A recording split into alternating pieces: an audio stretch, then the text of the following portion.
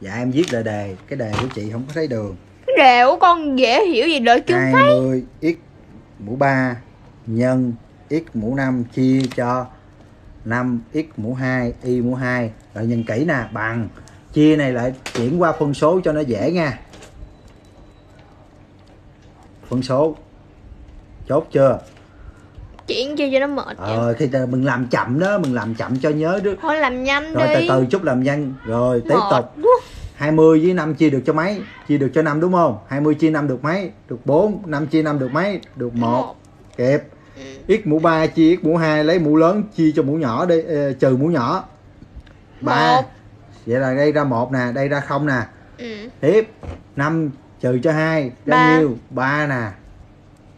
Được chưa? Vậy ra gì 4 nhân y mũ 1 nhân y mũ mũ 3 xin lỗi x mũ 1 kịp chưa? Đó là cắt chậm nha cắt lẹ nè nhìn kỹ.